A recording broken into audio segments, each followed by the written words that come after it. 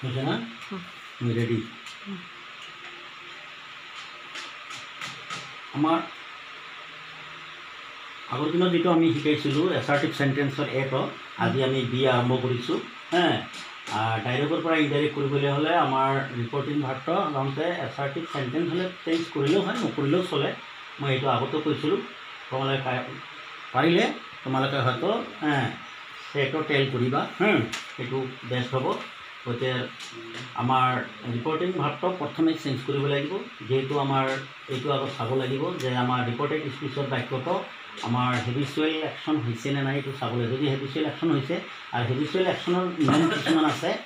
Always every daily regularly seldom অফে এনেধৰণৰ যদি আমাৰ ৱাৰ্ড ইউজ থাকে তেনেহ'লে এইবিলাক হেবিচুৱেল একশ্যনত পৰি যাব। গতিকে এইবিলাক বাক্য আমাৰ ৰিপৰ্টিং ভাৰ্টত যদি পাষ্ট ফৰ্মতো থাকে ৰিপৰ্টিং ভাৰ্ট আমাৰ ৰিপৰ্টিং ক্লজৰ যে ভাৰ্টটো আছে এই ভাৰ্টটো যে পাষ্ট ইণ্ডিভিজুৱেলতো থাকে কিন্তু তথাপিও আমাৰ এই ৰিপৰ্টেড স্পীচৰ বাক্যটো কেতিয়াও চেঞ্জ নহ'ব। যি টেন্সত আছে সেই টেন্সতেই থাকিব। এতিয়া আমাৰ ডাইৰেক্টৰ পৰা ইনডাইৰেক্ট আমি কৰিবলৈ গৈছোঁ যে ৰহিম টল ডেট দুটা ক্লজৰ মাজত আমাৰ ডেট কানেকশ্যনটো কানেক্টিভ হিচাপে ব্যৱহাৰ হ'ব কনভেনশ্যনটো যে ৰহিম টল ডেট গতিকে আমাৰ প্ৰণাউন আহি আছে। এইটো আমাৰ এই কথাটো কোনে কৈছে? যে ৰহিমে কৈছে ডাইৰেক্টত এতিয়া আমাৰ ইনডাইৰেক্টত আমি এই আই প্ৰণাউন যিটো আছে কেতিয়াবা হি হয় কেতিয়াবা চি হয়।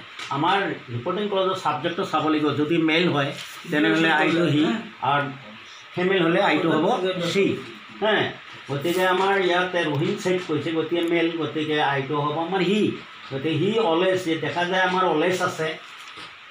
অলৱেজ আছে গতিকে এইটো হেবিচুৱেল একশ্যন এই বাক্যটো। গতিকে এইটো কেতিয়াও লৰ্চন যদিও আমাৰ ৰিপৰ্টিং ভাৰ্টৰ পাঁচ ফৰ্মত আছে এই বাক্যটো আমাৰ কেতিয়াও লৰ্চন নহ'ব এইটো প্ৰেজেণ্ট ইণ্ডিভিজুৱেলতে আছে আৰু প্ৰেজেণ্ট ইণ্ডিভিজুৱেলতে প্ৰকাশ কৰিব লাগিব। এতিয়া আমাৰ ৰিপৰ্টিং ভাৰ্টৰ যেতিয়া প্ৰণাউন আইৰ পৰিৱৰ্তে যেতিয়া ই হ'ল এতিয়া থাৰ্ড পাৰ্চন ছিংগুলাৰ নাম্বাৰ যদি এই টেন্সতে ৰাখিব লাগিব গতিকে হি অলৱেজ টেন এতিয়া আই অলৱেজ গ' আছিল। এতিয়া আমাৰ ফাৰ্ষ্ট পাৰ্চন আছিল আই গতিকে আমাৰ আই গ' আছিল। আই অলৱেজ গ' এতিয়া দেখা যায় আইৰ ঠাইত আমাৰ কি আহিছে প্ৰণাউন হি গতিকে হি যেতিয়া আহিছে থাৰ্ড পাৰ্চন ছিংগুলাৰ নাম্বাৰ গতিকে আমাৰ এই টেন্সতে ৰাখিব লাগিব।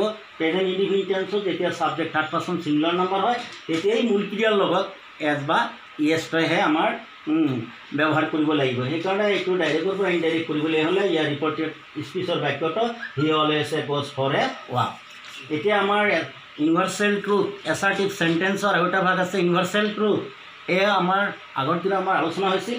এতিয়া আমি দ্বিতীয় দিনা এইটো আলোচনা কৰিছোঁ যে হেবিচুৱেল হেবিচুৱেল একশ্যন যিটো বাক্য এইটো এটা উদাহৰণ মই দিলোঁ। এনেধৰণৰ বাক্য যদি আমাৰ অলৱেজ এভৰি ৰেগুলাৰলি চেলডম অফে হে এনেধৰণৰ যদি ৱাৰ্ড থাকে তেনেহ'লে তোমালোকে হেবিচুৱেল একশ্যন হিচাপে তোমালোকে ডাইৰেক্টৰ পৰা ইনডাইৰেক্ট এনেধৰণৰ কৰিব লাগিব। এতিয়া আমাৰ নাম্বাৰ চি মই মই আগতে কৈছিলোঁ যে এছ আৰ টি চন তিনিটা ভাগ এ বি আৰু চি। এতিয়া ইউনিভাৰ্চেল টু শ্ৰীসত্য বাক্যৰ ক্ষেত্ৰত আমাৰ এনেধৰণৰ বহু বাক্য আছে। গতিকে এইটোৰ ক্ষেত্ৰতো আমাৰ কি?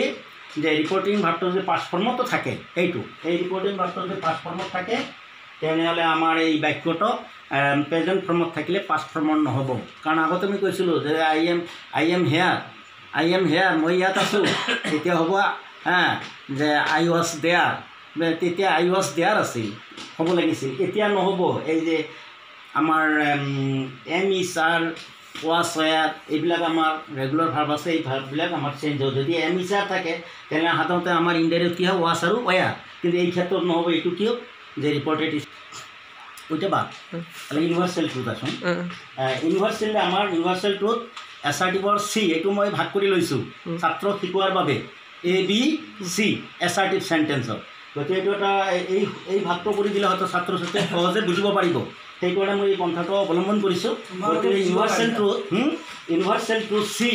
এইটোৰ ক্ষেত্ৰত আমাৰ the teacher say Mount Everest is the highest peak in the world গতিকে এইটো চিৰসত্য বাক্য। ৰিপৰ্টেড স্পীচৰ বাক্যটো চিৰসত্য। আৰু ইফালে দেখা যায় আমাৰ দি টিচাৰ চেই শিক্ষকেই কৈছিল কিন্তু পাষ্ট ইণ্ডিভিজুৱেল টেন্সত আছে অৰ্থাৎ এই ভাৰ্টৰ ৰিপৰ্টিং ভাৰ্টটো আমাৰ পাষ্ট ফৰ্মত আছে। গতিকে এইটো পাষ্ট ফৰ্মত থাকিলেও আমাৰ ৰিপৰ্টেড স্পীচৰ বাক্যটো চিৰসত্য বাক্যৰ ক্ষেত্ৰত কেতিয়াও পৰিৱৰ্তন নহয়। গতিকে এইটো আমাৰ দুটা ক্লজৰ মাজত কেৱল ডেট হে কানেকশ্যন ডেট কানেক্টিভ এটা আমাৰ কনজাংশ্যন ব্যৱহাৰ হ'ব সেইটো ব্যৱহাৰ কৰিলেই হৈ যাব। এতিয়া সেই হিচাপে আমাৰ ডাইৰেক্টৰ পৰা ইনডাইৰেক্ট এতিয়া the teacher told that Mount Everest is the highest peak in the world same এনেধৰণৰ হয়তো বহু বাক্য আছে। মিল্ক ইজ হোৱাইট এই same milk is white milk is white এনেধৰণৰ বহুত আছে। যে iron is heavy the sky is blue এইবিলাক কেতিয়াও লৰচন নহ'ব। এনেধৰণৰ বাক্য বহুত আছে। এনে এতিয়া ধৰা honest is the best policy knowledge is power হে? গতিকে মানে এনেধৰণৰ বাক্যবিলাক সদায় আমাক কি হ'ব? আমাৰ ডাইৰেক্টৰ পৰা যেতিয়া ইনডাইৰেক্ট কৰিবলৈ যাবা আমাৰ ৰিপৰ্টিং মাত্ৰ চাইট ৰাখিলেও হ'ব চাইটৰ পৰিৱৰ্তে টল দিবা আৰু দুটা ক্লজ আমাৰ ডেট ব্যৱহাৰ হে? কৰিব আৰু বাকী আমাৰ ৰিপৰ্টিং স্পীচৰ বাক্যটো কোনো সাল সলনি নহয় এজ ইট ইজ থাকি যাব। বুজিম না?